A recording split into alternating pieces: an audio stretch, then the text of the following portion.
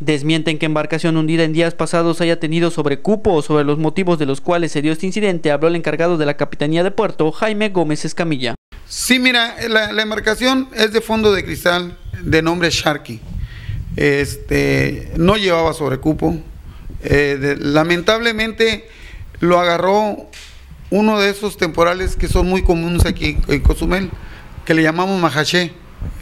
Este, el capitán eh, hizo una mala maniobra, la ola lo golpeó y embarcó agua y ya no pudo controlar el embarque de agua a pesar de que sus bombas de chique funcionaban. Entonces, de tal forma que la perdió la embarcación. Una característica es de que esta embarcación eh, contaba con una caída de, borda un poco más baja.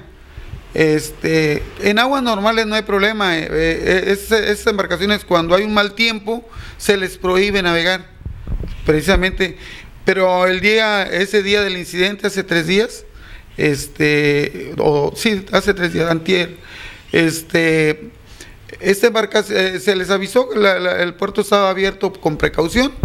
Lamentablemente apareció ese majaché y, pues maniobró mal el, capitán, no supo eh, enfrentar la ola y, este, y esas son las consecuencias.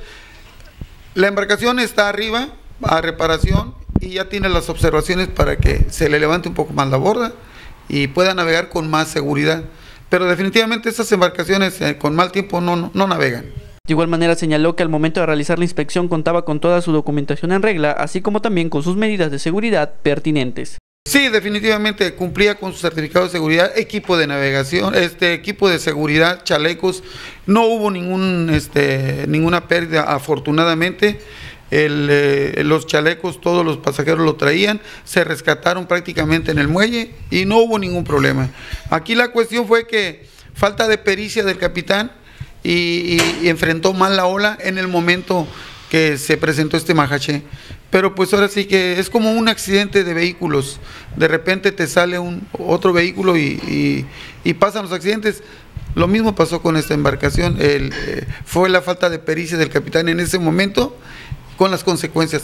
Entonces, aquí eh, ya estamos haciendo los ajustes para que a, esa, a, ese tipo de embarcaciones no le suceda eh, estos percances. Pero cuando son de borda baja y hay un magaché, sí, sí, estamos viendo que tenemos que ver que la borda la levanten un poco más y que sus bombas tengan más potencia de descarga. También dijo que sucederá con la embarcación proveniente de Estados Unidos que encalló en las costas del municipio en días pasados. Eh, esta embarcación es de matrícula estadounidense. El, dueño es ruso. No se encuentra eh, en este día, en el transcurso del día de hoy, debe de presentarse a esta capitanía eh, informando. La autoridad marítima le va a hacer una propuesta para que saque esa embarcación. Todo movimiento cuesta, es, es causa de erogación económica. Lo que, lo que hay que hacer es este, plantearle, claro, es su embarcación, eh, pero, pero esta autoridad marítima este, le está planteando la posibilidad de que eh, tiene que sacarla para evitar daños al muelle, daños por contaminación, si se desbarata. Entonces, si él en un momento dado no tiene la capacidad de sacar esa embarcación, la autoridad marítima verá la manera de cómo retirar esa embarcación para evitar algún daño mayor o contaminación al medio ambiente.